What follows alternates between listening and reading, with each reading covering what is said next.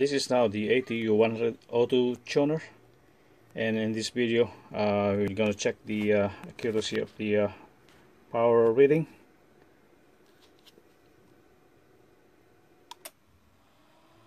It's showing 21 watts and it's in uh, bypass mode.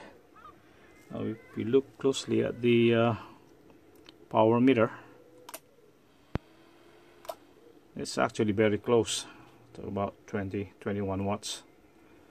So with that I'd say it's uh, accurate enough for the power reading.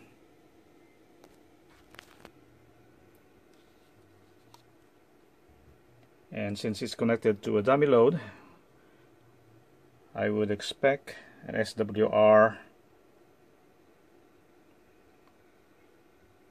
if I can get to focus there